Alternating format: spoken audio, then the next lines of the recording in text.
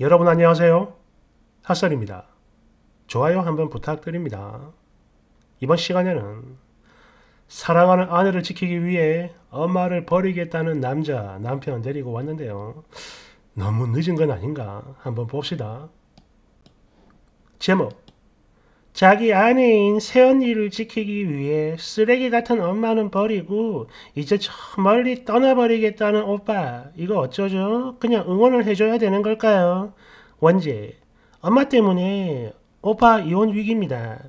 여러분 안녕하세요. 저는 그냥 20대 중반 미혼이고 평범한 여자이자 한 명의 신우이입니다. 다름이 아니고요. 지금 저희 엄마 때문에 새언니가 이제 더는 못 버티겠다며 이혼을 요구 중이라서요. 거기다 오빠까지 극단적인 생각을 하고 있는데 도대체 이걸 어쩌면 좋을지 몰라 제가 대신 글 남겨봅니다. 저희 새언니는 원래 제 과외 선생님이었어요. 그리고 저희 부모님도 그렇고 오빠도 그렇고 다들 되게 좋아하고 눈독을 들였는데 특히 오빠가 끊임없이 대시를 하고 그래가지고 연애도 하고 결혼까지 간 거예요. 사실 이 과정도 되게 길고 할 말이 많은데 이런 거 다 쓰면 글이 쓸데없이 길어지고 또 지금은 이게 그렇게 중요한 내용은 아니기 때문에 그냥 넘어갈게요. 일단 저희 새언니 같은 여자인 제가 봐도 너무 이쁘고 좋은 학벌 예의도 바르고 진짜 흠잡을 데가 없는 사람이에요. 다만 딱 한 가지 집이 좀 못 살았어요. 아니 많이 못 살았습니다. 그러다 두 부모님도 일찍 돌아가시고 이유는 몰라요. 그렇게 혼자 남은 새언니는 고등학교 시절 내내 친척집에 들어가 얹혀 살았다고 해요.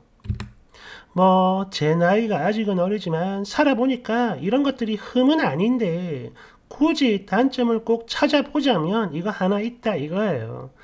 여하튼 처음에는 제일 크게 눈독을 들였던 만큼 엄마가 새언니를 엄청 이뻐했거든요. 그런데 결혼하면서 이게 바뀌더라고요. 언니를 너무 자주 부르고 툭하면 불러대고 살린 간섭도 오지게 했습니다. 그럼에도 새언니는 이 모든 걸 참고 예의 있게 대했지만 엄마는 끝내 달라지지 않았고 아니 오히려 날이 가면 갈수록 점점 더 요구가 심해지더니 이게요, 비록 뭐 100% 완전한 불임은 아니지만 이 두 부부가 난임이라는 사실을 알고 난 뒤부터는 진짜 사람을 무슨 죽기 살기로 괴롭히는 거예요. 제가 엄마 딸이지만 도저히 실드가 안 될 그런 수준으로요. 막말 하나만 해보자면 새언니한테 부모님이 없으니까 뒤를 봐줄 사람도 없다 여겨서 더 그랬던 것 같아요. 새언님이 연전에 대고 이런 자궁 썩은 년 이런 말 했으면 말 다 했죠 뭐. 여하튼 뭐 꾸준히 치료인가 뭔가 그걸 받고는 있었는데 중요한 건 이 난임이 언니가 아니라 100% 오빠 쪽 문제라는 거예요.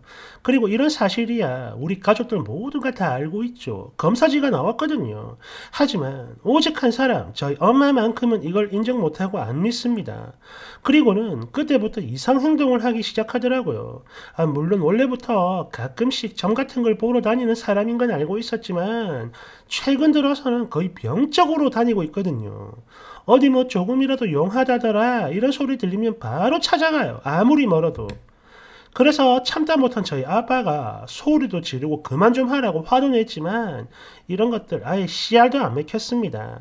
그리고 그렇게 다녀오면 뭐 새벽이든 언제든 전화를 해가지고 새언니한테 너 지금 당장 꽁꽁이랑 그거 해라 이런 말을 하고 또 제가 직접 들었던 내용 몇 가지만 추려보면 속옷은 무조건 다 면으로 바꾸라고 했고요.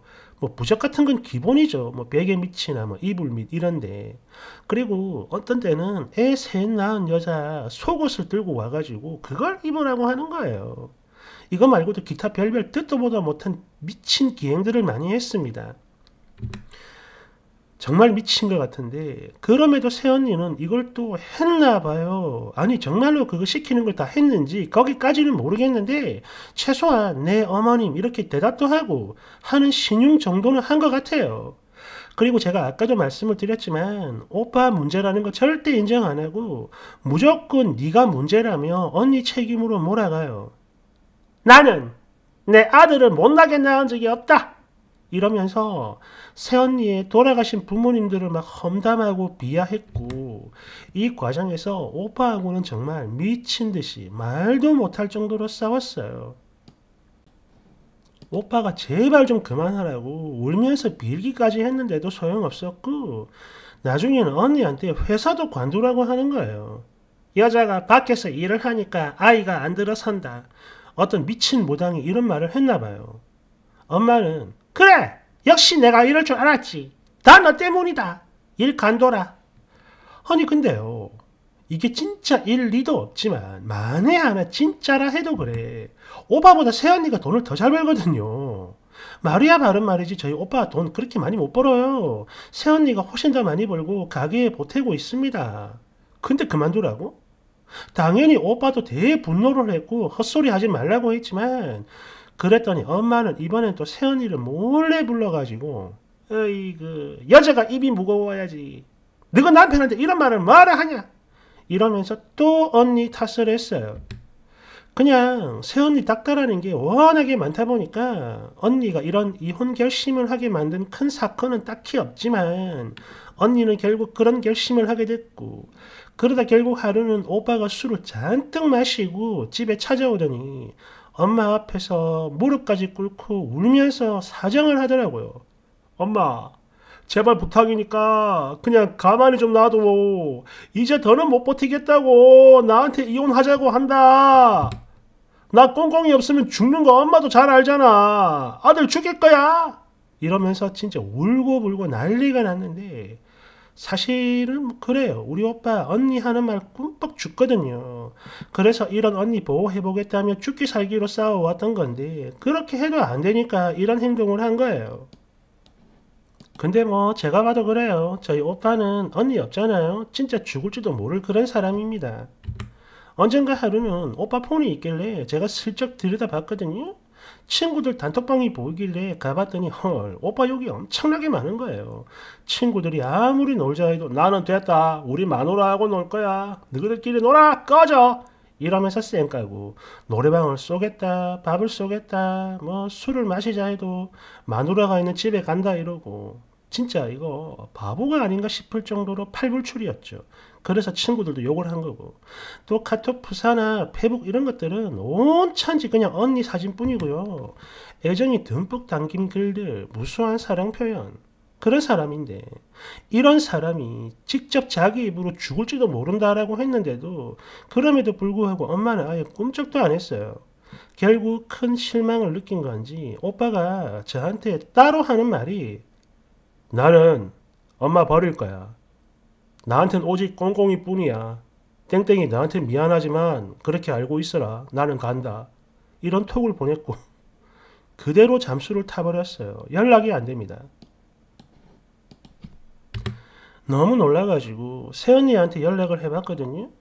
언니 조금만 더 생각을 해보면 안 되겠어요? 이렇게 물어봤더니 미안해 꽁꽁아. 나 이제 더는 못 버티겠어. 이 말뿐이고 그 뒤론 답장이 없어요. 둘 다 사라진 거죠. 예전에 저희 오빠가 한 4개월인가 그 정도 백수 생활을 했던 적이 있는데 이때도 새언니는 오빠한테 설거지 한 번 안 시키고 또 오빠가 집안일을 미리 좀 해놓으면 쉴 때 그냥 푹 쉬고 재충전이나 하라며 길을 살려주던 그런 언니거든요. 그리고 이 모든 사실을 엄마도 알고 있습니다 가족된 입장에서 이혼이나 부모 자식 간 인연 끊어버리는 거 너무 아프고 슬픈 일이지만 그래도 저는요 새언니가 너무 좋고요. 그래서 이 두 사람 그 행동들이 이해가 돼요. 다만 그런 이유가 제 엄마라는 거 이게 너무 싫거든요. 가끔 여기 판 같은데 어떤 시누이가 했던 말 중에 엄마가 그렇게 하면 그 죄가 나중에 나한테 올까봐 너무 무서워 이런 말이 있었고 이걸 그대로 전했던 적이 있는데요. 이때 엄마가 저한테 그래서 네가 고하냐? 그렇다고 네가 개처럼 애를 못 낳냐? 이러는 거야. 분명 옛날 과외 선생님일 때도 부모님 없는 거 다 알고 있었고 오빠랑 이어주려고 엄청나게 밀어붙였던 사람이거든요. 거기다 결혼도 오빠랑 언니 돈으로 했어요. 뭐 작게나마 예단도 했고 월세로 시작해가지고 이제야 좀 잘 먹고 잘 사는 건데 왜 이렇게 죽기 살기로 괴롭히는 건지 모르겠다 이거죠. 그렇다고 새언니가 엄마 눈 박힌 날 행동을 했던, 했던 적도 없어요. 착하다고. 엄마 욕 보이는 건 싫어요. 싫지만 저는 언니를 잃는 게 너무 싫고 또 오빠가 엄마를 버리고 우리를 버리는 것도 너무 싫어요. 그래서 엄마가 욕 먹을 거라는 거 뻔히 알면서도 이렇게 글 써봅니다. 제발 조언 좀 해주세요.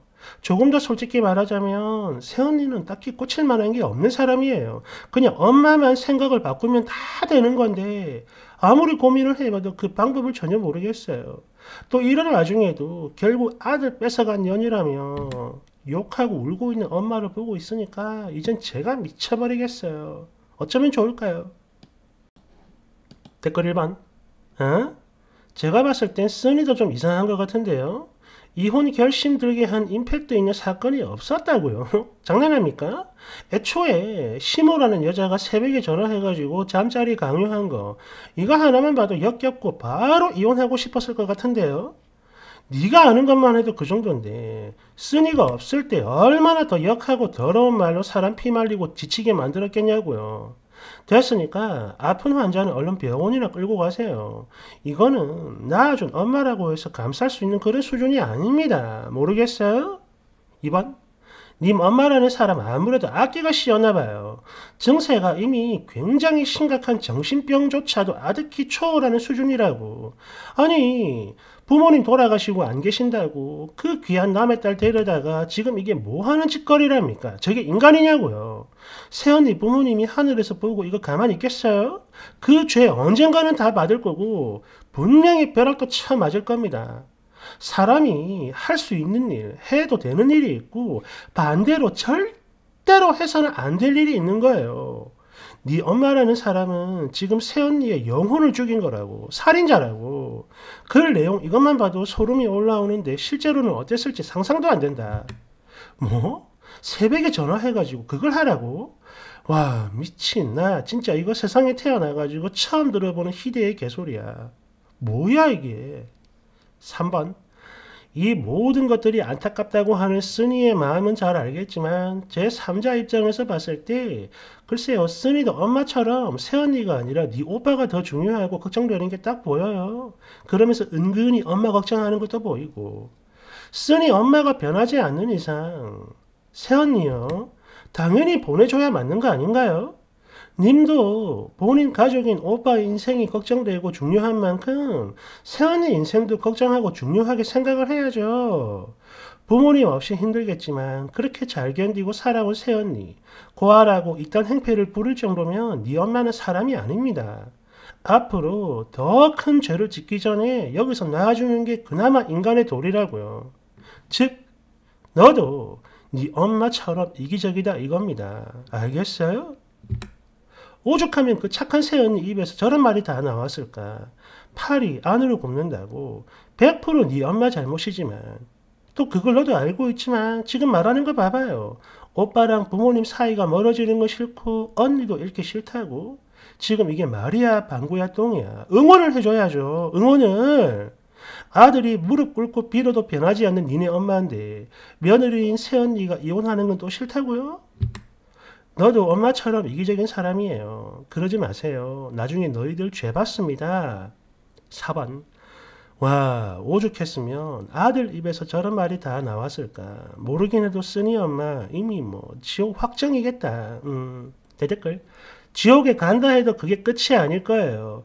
분노한 새언니의 부모님들이 한 번 더 죽일 것 같은데 사지를 발기발기 찢어가지고 5번 야 단순히 글만 본 건데도 이 정도 소름이라니 이거를 직접 당했던 세연님 마음은 어땠을지 감히 상상도 못하겠다. 6번 아들도 등신이야. 지 애미가 이러는 걸 모르는 것도 아니고 진작에 지 마누라라도 연을 끊게 만들어 줬으면 그랬다면 이런 최악의 거지 같은 상황은 안 왔지. 그냥 싸우는 척 방치만 하다가 이제 갈라서자 이러니까 아차 하는 게 더 열받아.